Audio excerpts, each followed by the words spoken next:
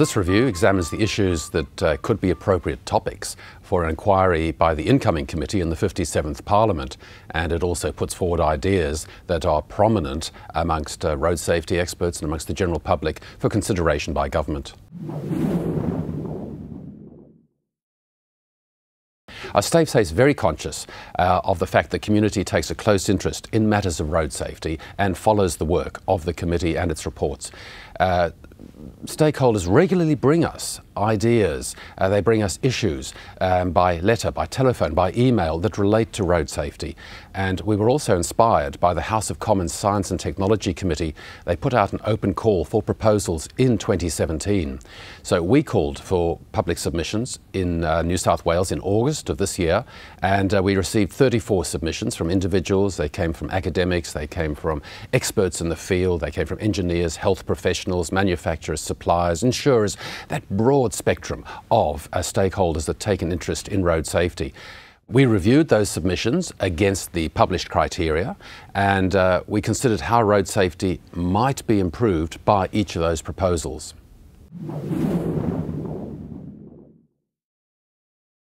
Uh, StaySafe selected two proposals. One was compulsory first aid training for learner drivers, and the other community specific road safety campaigning. Now, these proposals were seen as worthy of parliamentary scrutiny, and, and they're ready to go if the incoming committee wishes to proceed. They were also seen as suitable for the New South Wales Government to take forward if it so wishes. We also selected four proposals for further consideration. Uh, funding local roads to reduce fatalities, the needs of older road users, the adequacy of crash investigation and data collection, and finally the impact of heavy vehicle industry working arrangements on road safety.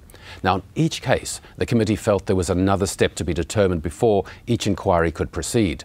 Uh, these steps were issues like gathering more information, assessing current progress, determining if StaySafe was the best vehicle for the inquiry, or deciding whether the question being proposed might already have been decided. Primarily, we wanted to assist the committee in the 57th Parliament by giving them some ideas of uh, issues that were prominent in uh, the stakeholder or the community's uh, viewpoint over all in New South Wales. And we wanted to acknowledge our stakeholders because we were reflecting their views, their concerns. The achievements of StaySafe since it was first established in 1982 have rested on the passion of our stakeholders for safer roads and their enthusiasm for engaging with us, we wanted to reflect that in the topics that we were able to put forward.